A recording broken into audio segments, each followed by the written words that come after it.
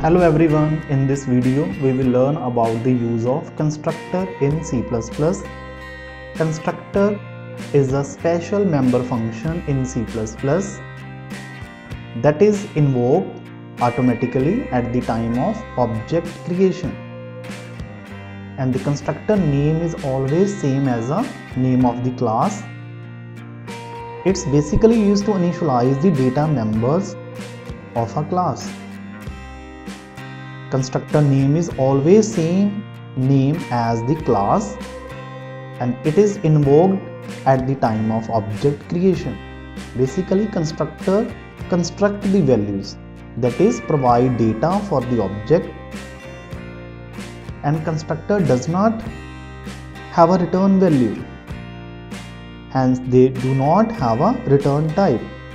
And constructor can be defined inside or outside the class definition. And constructor always created under the public section of the class. Let's start the program. First of all create a class class abc abc is the name of the class. And class having a constructor function. Constructor function name is same as the class name?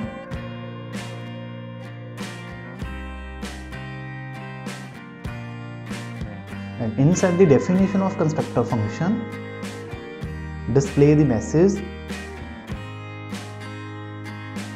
constructor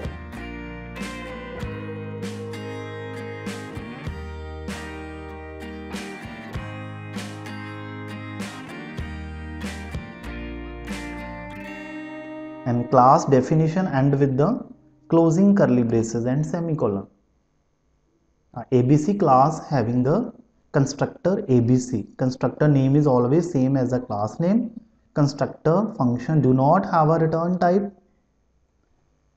Now inside the main function create the object of ABC class. ABC is the name of the class, A1 is the name of the object. When the object of class is created, constructor called automatically. There is no need to call the constructor function. Constructor function called automatically when the object of class is created.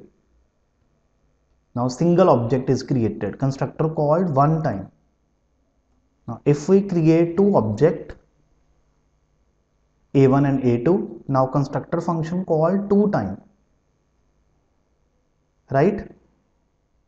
Now in this code constructor function defined inside the class. Next is how to define constructor function outside the class. If you want to define constructor function outside the class, first of all declare constructor function inside the class class end with the closing curly braces and semicolon then define constructor function outside the class with the help of scope resolution operator first of all class name. Abc is the name of the class then scope resolution operator then name of the constructor function. Now in this case constructor declare within the class and define outside the class with the help of scope resolution operator. Now run this code. Program run successfully.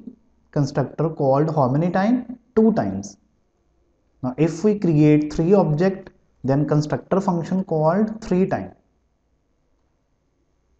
When the object of class is created constructor function called automatically. Right? This is all about the constructor function. Thank you.